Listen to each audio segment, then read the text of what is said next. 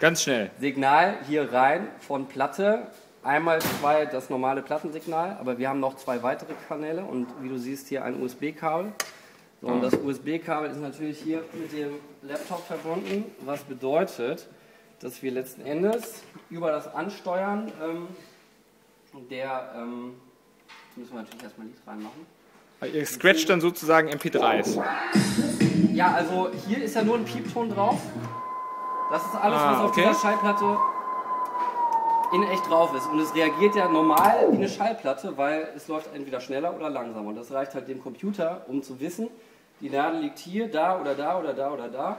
Und darüber legst du dann einfach nur noch das Lied, was auf der Festplatte ist. Und das gibt er dann wiederum hier aus und du äh, schiebst es ins Mischpult und das war's. Geil. Wie DJ Hero quasi. Also es ist wirklich total easy. Läuft es halt mit, hältst es halt an. Das ist geil. Ja, vielen Dank. Bitte. Aber